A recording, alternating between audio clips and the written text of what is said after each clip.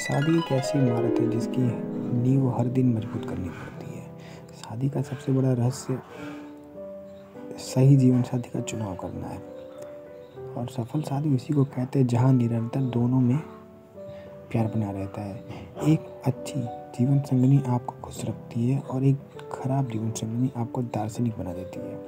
एक आर्कोलॉजिस्ट बेहतरीन पति साबित होता है क्योंकि वह जितना पुराना होगा उतना ही दिलचस्प होता जाएगा।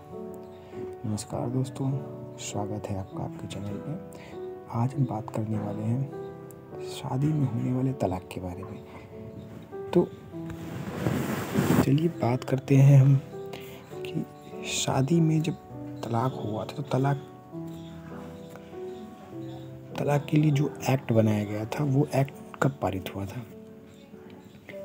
तो उन्नीस सौ चौवन में 17 सितंबर